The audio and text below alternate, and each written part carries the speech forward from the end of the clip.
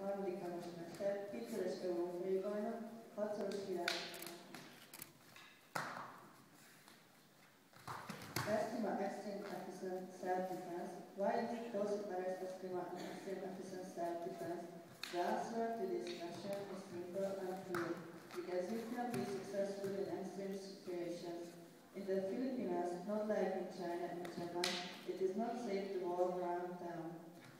Even during the day, you can be attacked and but Tatsaparas Eskrima is efficient in these situations. Eskrima teaches to fight with sticks, gloves, knives. It also teaches to defend yourself with only your uh, hands without weapons